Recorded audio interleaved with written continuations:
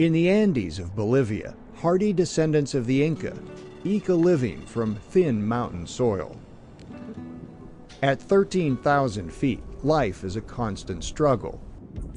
Near the village of Ayagua, in central Bolivia, farmers break ground to plant potatoes. According to local tradition, for the crop to flourish, it needs more than skilled tilling and good weather. The potatoes, these farmers believe, need the nourishment of human blood.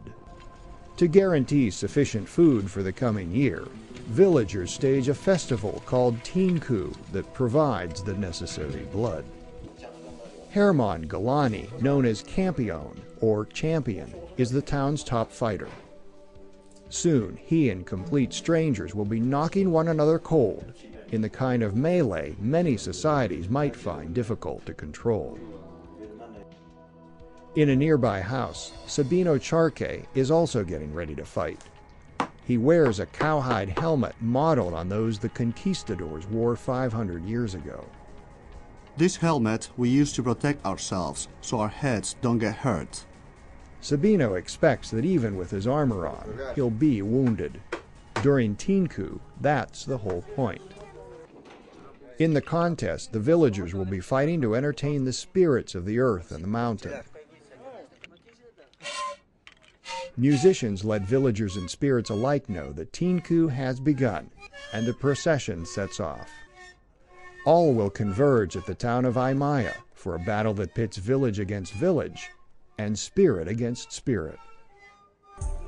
Though strangers to one another, competitors choose their opponent by location. The teams date to ancient times. The one that triumphs is seen as having the strongest spirit and therefore is due the best harvest.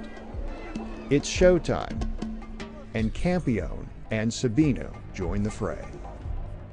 The blood itself is an offering to nourish the spirits, just as water nourishes the earth. Boys as young as 10 enter the fray. It's a free for all with few rules, and it can end in death.